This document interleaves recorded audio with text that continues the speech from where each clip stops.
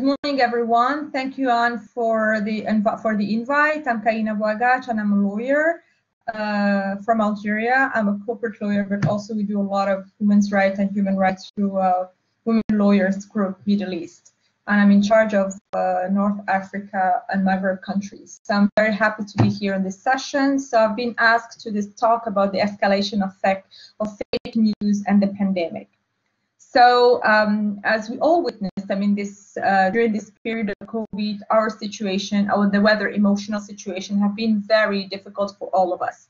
Unfortunately, all what's going on in the media didn't help uh, in terms of easing uh, our personal tension, but also tension between countries, but also tension between uh, different stakeholders. And I'm going to share with you just a few examples before I try to summarize, which to look into the Algerian situation, which is basically why we are here today.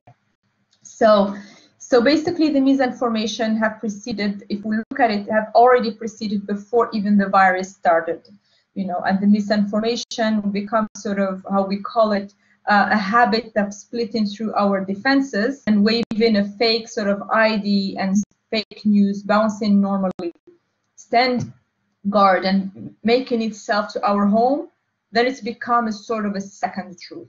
We are very vulnerable and we've been more vulnerable during this COVID-19. So we listen to different source of media. Our, I would say our rational become very heated in some, at some point.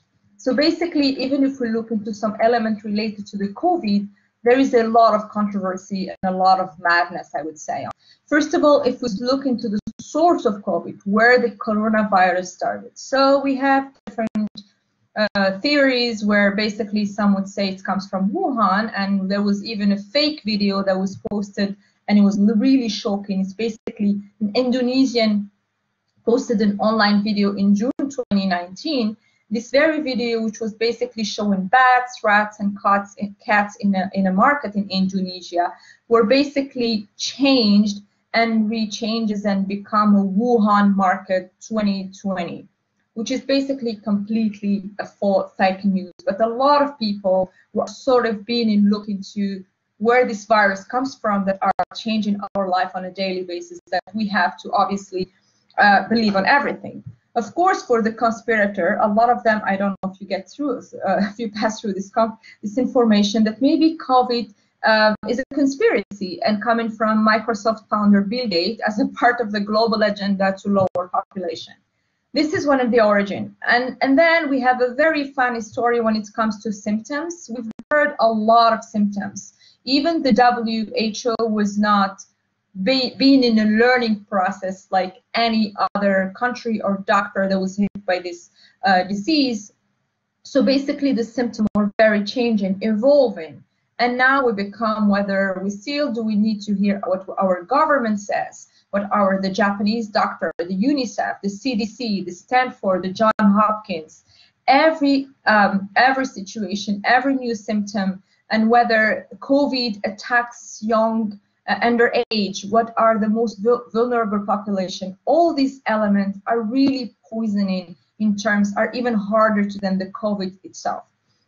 Another element looks into the treatment, and this has really become even, I would say, more dangerous at some point. And I will tell you a very short story when it comes, I don't know if you came across the nicotine element. In fact, in April 24th, uh, a very renowned French neurologist and professor uh, at the Institut Pasteur, which name is Jean-Pierre Changeux, basically announced that there might be um, a relation between uh, nicotine, the level of nicotine in a body, and obviously the people, that the 3,000 people that came into the uh, the institute uh, in terms of data, and many of them that hit uh, more severe uh, COVID-19 um, symptoms were non-smokers. So what happened based on this very information, it was replicated on social media at a certain level that it went out of control, where people were saying that nicotine actually heals COVID.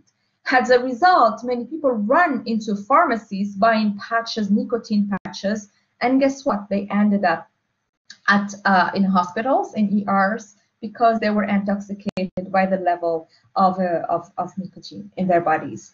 Um, the second thing is the chloroquine, which started with this whole big war, which still ongoing between the Professor Didier Raoult of Marseille Hospital, obviously based on the 4,000 sorry patient he had who treated by the chloroquine from the very first day. Obviously, all of them um, were were healed. Today, we still don't know because the French government, instance, and different governments are taking their own decision. Today, the chloroquine is a treatment used in Algeria. However, it's very controversial in Italy uh, and controversial in French as well. So the government doesn't want to take a decision um, when it comes to that, and it's not declared at this level.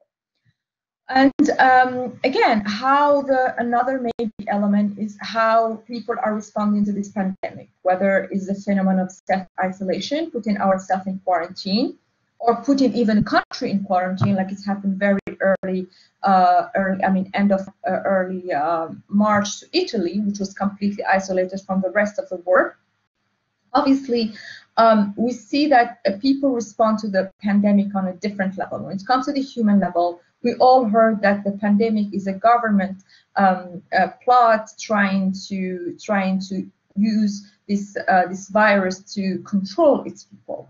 And nevertheless, depending on the number of cases that are growing, it's all it's all being attacked as being fake news.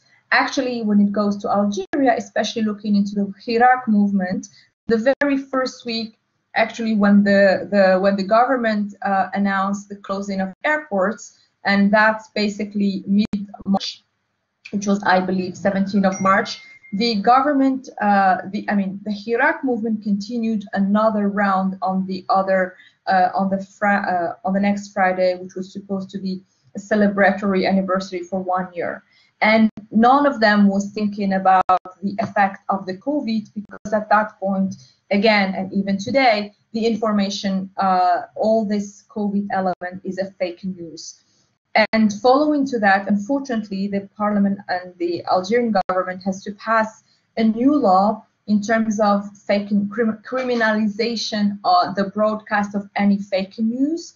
The law opposed by the protester, of course, and the human rights activists, because unfortunately, though you could think that it has some clarification because the text provide clearly saying that the bill is uh, in its section related to the criminalization of disseminating false news, undermining the public security and the public order. So basically, this element is very important in terms, if you are a lawyer, to look at it that you cannot be. Uh, I mean, the only moment where you will be uh, to act to uh, to answer to any criminal act is if your information get to the level uh, that it's escalated to the level that it's disturbing the security, public security and order. However, unfortunately, the problem with this kind of law is it's misunderstood and misused. There, uh, any person, unless unless uh, proven otherwise, could be uh, considered as a fake news uh, disseminator. So I think this is one of the answers. Thank you, everyone.